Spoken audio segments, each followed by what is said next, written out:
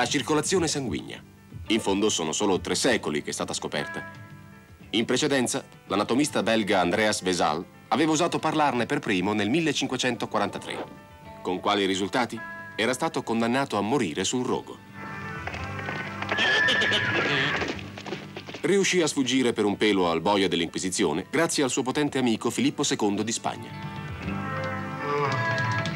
Dieci anni dopo, Michel Servet parlò anche egli della circolazione sanguigna. Egli però non aveva neanche un imperatore fra i suoi amici, quindi morì sul rogo. Quando William Harvey inglese si azzardò nel 1628 a esporre le sue teorie sul ruolo del cuore e della circolazione, venne apertamente deriso.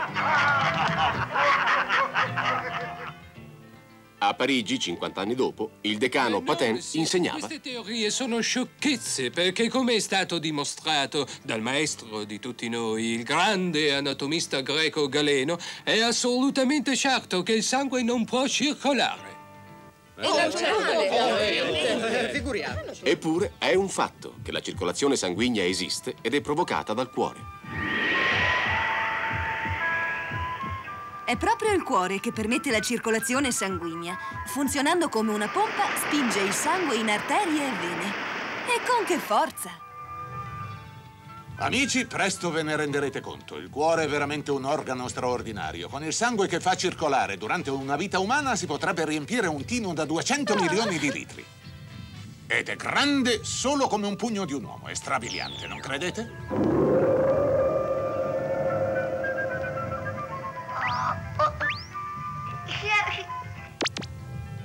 Eh sì, è veramente un organo Sei affascinante. stanco Lo vedrete, è morto. davvero impressionante. Il suo funzionamento ha qualcosa di magico. Forse può spaventare un po', ma è ugualmente affascinante. Certo è un viaggio molto lungo, soprattutto quando si torna dalla punta dei piedi. eh? Cosa vorrete farci? Si sa che anche laggiù hanno bisogno del nostro ossigeno per poter funzionare e hanno anche bisogno di disfarsi del loro gas di scarico. E questo è il nostro compito e tutto passa per il cuore. Facciamo parte di un ciclo continuo. Il sangue trasporta globuli rossi, globuli bianchi, piastrine, sali, zuccheri e proteine. Eh?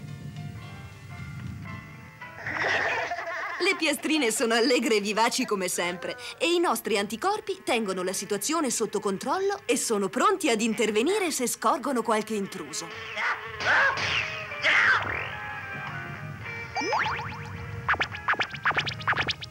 L'anidride carbonica io non la sopporto perché mi fa venire l'oppressione. Ora i globuli rossi sono carichi di anidride carbonica. Infatti si trovano nel sangue venoso della vena cava inferiore. Stanno entrando nel settore destro del cuore, da dove verranno spinti verso il polmone per ricaricarsi d'ossigeno. Oh, siamo arrivati alla fine della vena cava, la più importante del corpo, io vi consiglio di chiudere i vostri zaini. Ormai siamo molto vicini al cuore.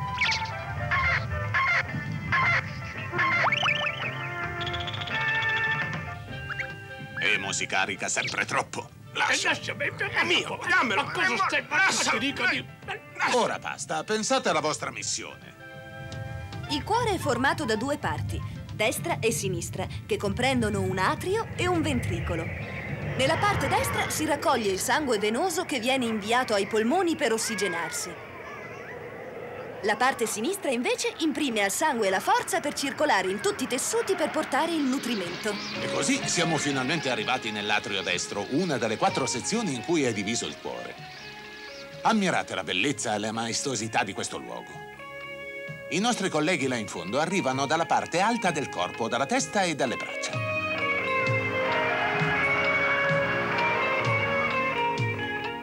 Loro percorso, come quello che abbiamo seguito noi, porta in questa sezione tutto il sangue del corpo, senza eccezione. E da qui andremo tutti ai polmoni. E come faremo ad andarci? Venite, Questo rumore che si sente che cos'è? guardate laggiù. Avete capito che cos'è questo rumore? Quelle tre linguette costituiscono la valvola tricuspide ed è per di là che passeremo tra poco. Ma ora venite a mettervi un po' al riparo. Altrimenti una cosa è sicura. Saremo portati via appena si apriranno di nuovo. La valvola tricuspide divide l'atrio destro dal ventricolo destro. Fate attenzione e aggrappatevi forte. Quando il ventricolo destro si rilascia, dopo una contrazione, la valvola tricuspide si apre. permettendo alla maggior parte del sangue contenuto nell'atrio di entrare nel ventricolo. A questo punto interviene la contrazione dell'atrio, che ne sospinge ancora un po'. E via senza paura!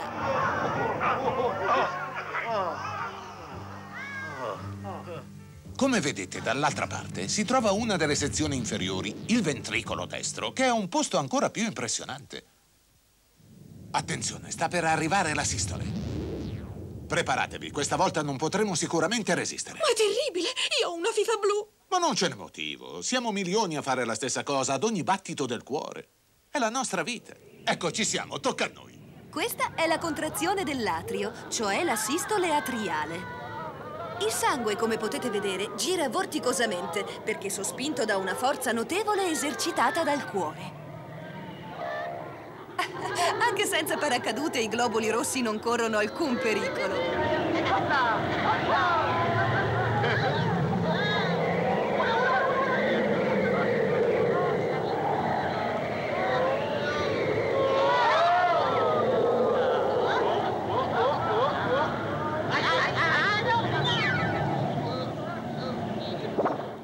Atterraggio perfetto!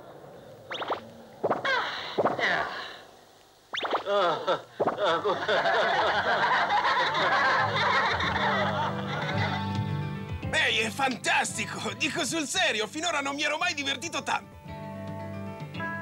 Guardate bene.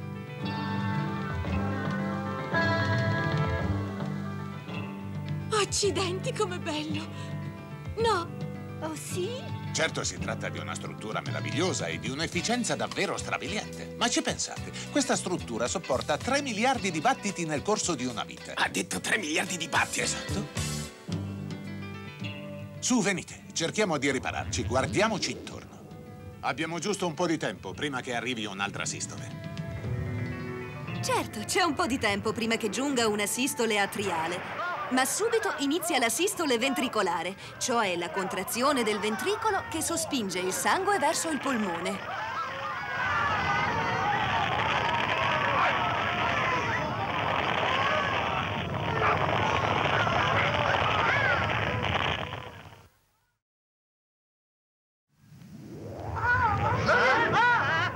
Ecco nuovi arrivi. È il sangue che arriva dall'atrio. Questa volta toccherà a noi. Siete tutti pronti, figlioli? Ed ora tocca nuovamente al ventricolo che sospinge il sangue nell'arteria polmonare. È fantastico! Pensate, tutto questo avviene più o meno ogni secondo per tutta la nostra vita. Ma seguiamo il percorso del nostro amico sangue.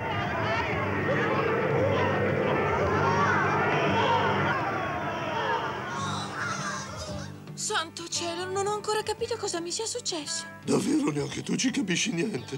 Fantastico, fantastico, un vero sballo. Non si potrebbe farlo un'altra volta, è stato veramente uno schianto. No, qui il percorso è a senso unico, ma non preoccupatevi perché torneremo molto presto al cuore. Giusto il tempo di andare ai polmoni e tornare, roba da poco, è solo la piccola circolazione. Lo sarà, ma è tutto inutile, tanto io non ci capirò mai niente. Perché non vuoi? Non è difficile. Ma certo, ti assicuro che è molto semplice. Provenendo dalla grande circolazione, cioè alcuni dai piedi o dagli organi e altri dalla testa, siamo arrivati all'interno del cuore, sul lato destro.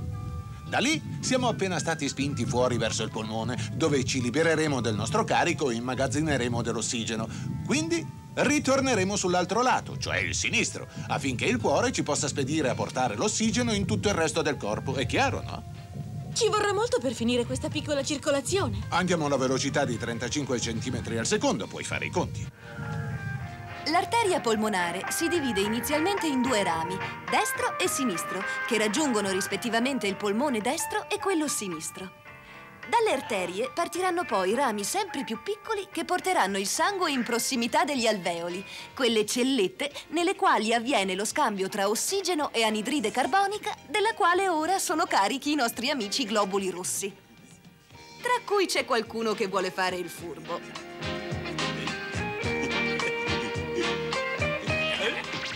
E raccogliete tutto, è roba vostra.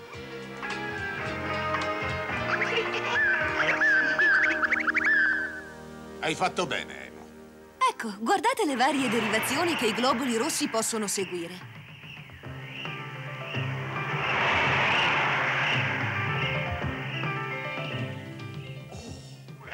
Ma quelli chi sono? No, io se fossi al suo posto proprio non lo farei, signore. No, aspetti. Oh, un momento, mi dia almeno il tempo di spiegarle una cosa. Vede, io non sono commestibile, mi deve credere. Oltretutto, sembra che io abbia decisamente un pessimo sapore. Ah! Che prepotente. E voi, fuori di qui!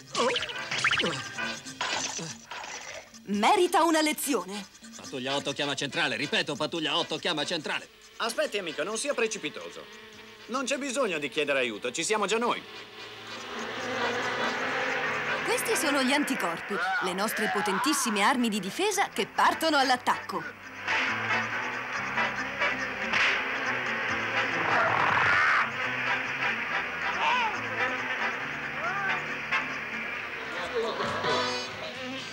Vi sta bene, vi sta bene, vi sta bene. Tutto torna tranquillo e il nostro viaggio può continuare. Così i globuli rossi, insieme ai sali, agli zuccheri e ai grassi, si avviano verso la zona del polmone a cui erano destinati. Ma il percorso non è dei più semplici ed è parecchio faticoso.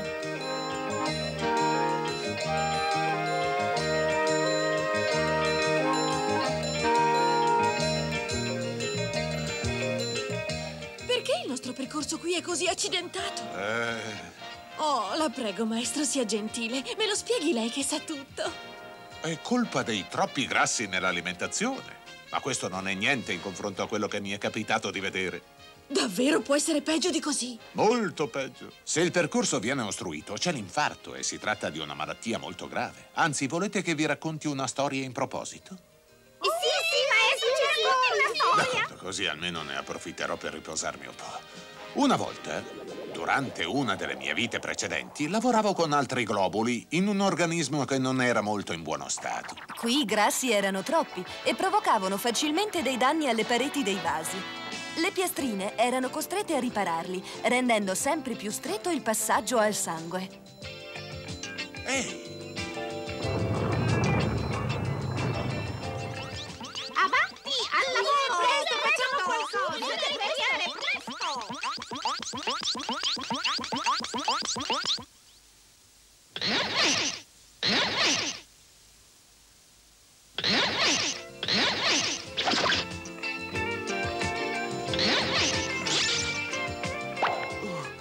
tutto inutile, non c'è niente da fare. Io non riesco a passare.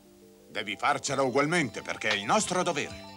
Naturalmente trovando questi ostacoli e nonostante la buona volontà, il sangue è costretto a scorrere più lentamente e le cellule ne risentono.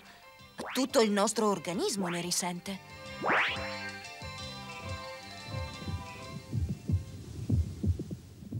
Seguite attentamente questa visita. Di che disturbi soffre esattamente? In certi momenti sento come delle punture e dei doloretti nel braccio il sinistro.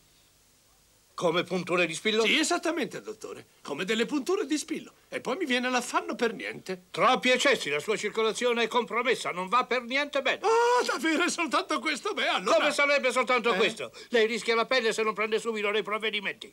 Io le darò una cura e poi basta fumo, basta alcol, basta sale, basta grassi, basta tutto, insomma. Dovrà seguire una dieta rigida, capito?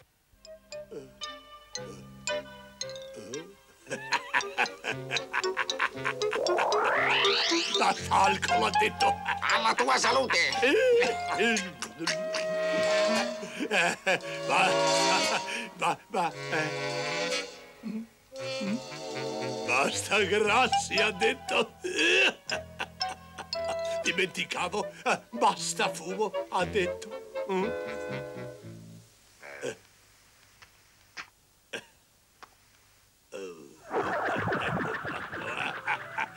Alla faccia di quel menagramo di medico! Santo cielo! E com'era prevedibile, andò a finire che ebbe un infarto. Ovviamente con il continuo accumulo di grassi le vene erano ormai completamente ostruite, non si passava più. È quello che si definisce una trombosi. Lui comunque riuscì a cavarsela, anzi riuscimmo a cavarcela sia pure a stento. Gli esseri umani non sono sempre furbi. Adesso coraggio, muoviamoci, abbiamo già perso troppo tempo. Ha ragione. Seguite sempre i consigli del medico. Adesso ci stiamo dirigendo verso gli alveoli.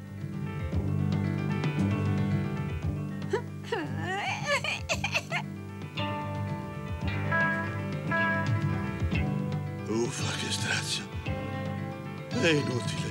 L'anidride carbonica proprio non mi piace. Ecco gli alveoli. Tra poco avremo dell'aria fresca. Vedete come sono stretti gli ultimi vasi che derivano dalle arterie polmonari? Sono chiamati capillari. E ci si passa davvero a fatica.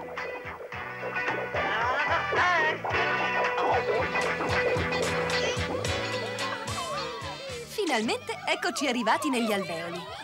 Guardate come sono felici i globuli rossi di liberarsi di anidride carbonica e di ricaricarsi d'ossigeno.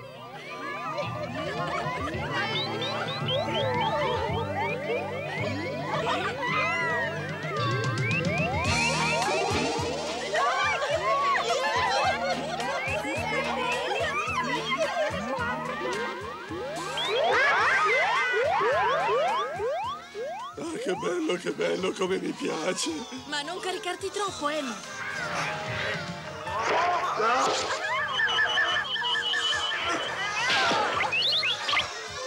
E adesso basta giocare, ragazzi. Abbiamo un lavoro da portare a termine. Infatti il viaggio deve essere ripreso, ma in senso contrario. I globuli rossi devono tornare al cuore. Eh sì, devo proprio riconoscerlo. I vasi capillari non sono molto comodi. Buon viaggio, amici globuli rossi! Chi? Noi? Ma prima distribuiamo meglio il carico di ossigeno.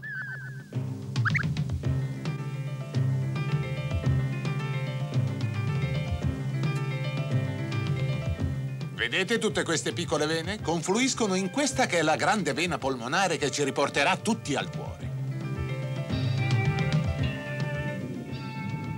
Cos'è questo rumore? Che cosa succede? Da questa parte, presto, muoversi, da questa parte.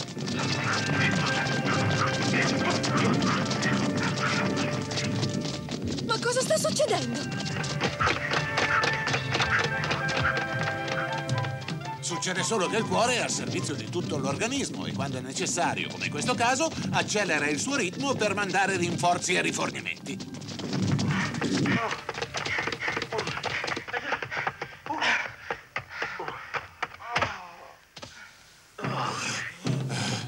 Non trovate anche voi che tutto questo sia un meraviglioso meccanismo?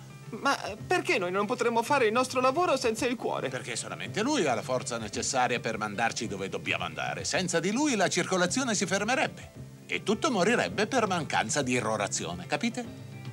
Niente da fare, è inutile. Io non ci capisco niente. Ti è così. prego, Emo, non ricominciare ora. Cercherò di spiegarvelo ancora.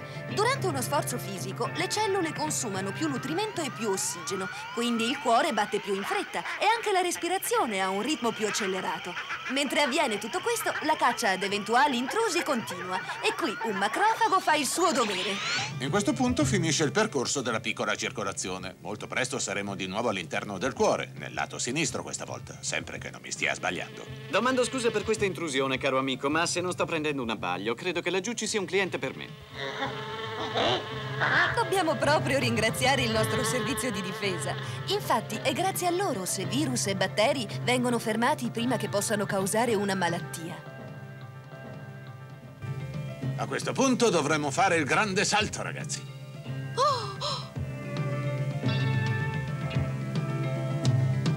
E hop! Così il sangue dalle vene polmonari si tuffa nell'atrio sinistro del cuore. È una discesa emozionante.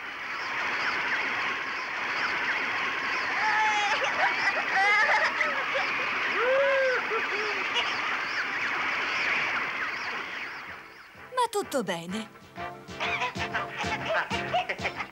Emo, dove sei finito? Eccomi qua, Globina. Ah, Santo cielo, non ho mai avuto tanta paura in vita mia. È stata una discesa da sballo, Sballo da accidenti, che sballo! schianto! Vedete, noi arriviamo da qui, dal polmone destro, e quei nostri colleghi che arrivano da là provengono dal sinistro. Adesso preparatevi ad effettuare la discesa nel settore inferiore, cioè il ventricolo sinistro. Sarà il nostro ultimo salto. La valvola che separa l'atrio sinistro dal ventricolo sinistro si chiama mitrale. Ecco che sta per aprirsi.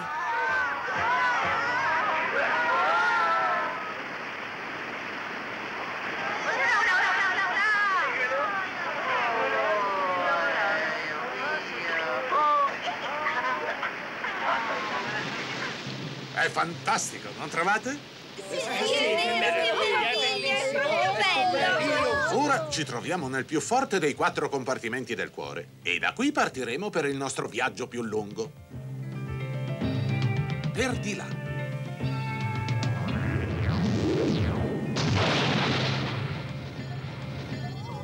Ora, grazie alla contrazione del ventricolo sinistro, il sangue fuoriesce dalla valvola aortica per entrare nella più grande arteria del nostro corpo, l'aorta, dalla quale prendono origine le arterie dirette a tutte le zone del nostro corpo, la testa, le braccia, il tronco, le gambe e così via. Il passaggio è un po' movimentato, ma ormai ci siamo abituati e quindi è divertente. Credevo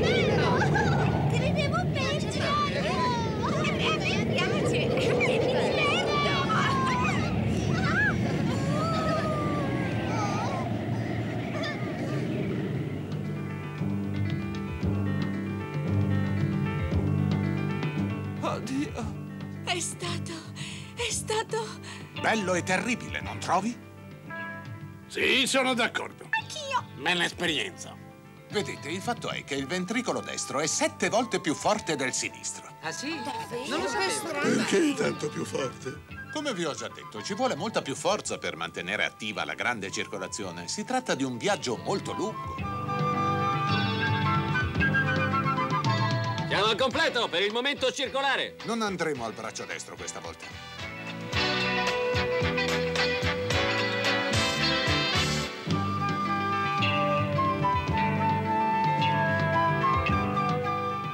Quanto pare non andremo neanche verso il cervello. Peccato, sarebbe stato interessante. Sarà per un'altra volta. Chissà quale sarà il destino dei nostri amici. Eccoci qua, figlioli. Abbiamo iniziato il nostro grande viaggio. L'addome, il fegato, la milza, l'intestino e forse le gambe. Quindi coraggio e muoviamoci.